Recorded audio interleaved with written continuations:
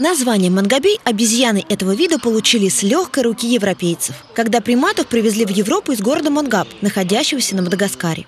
Хотя к этому острову Мангобей отношения не имеет. Ареал его обитания находится в бассейне реки Конго в Центральной Африке. Этот вид обезьян отличается сообразительностью и ловкостью. Интересная группа мангобеев тем, ну, это есть же не только золотистые мангобеи, есть еще хохлатые, еще несколько видов, что э, они приспособлены как э, к передвижению в древесном ярусе, так и на земле. В отличие от мартыш, которые чаще находятся в кронах деревьев, или от родственных им э, гамадрилов и макак, которые чаще передвигаются по земле.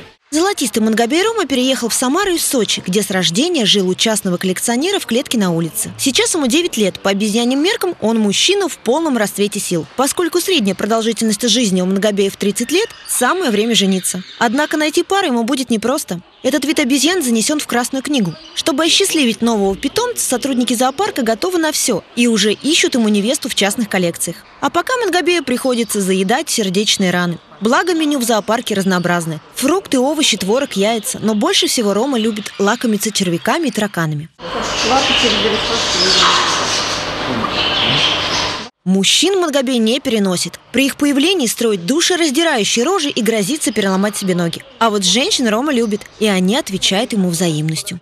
В зоопарке Мангобея Рома уже 4 дня, но он здесь вполне освоился. Успели составить его психологический портрет. Говорят, он любит комплименты и среди сотрудников предпочитает женщин.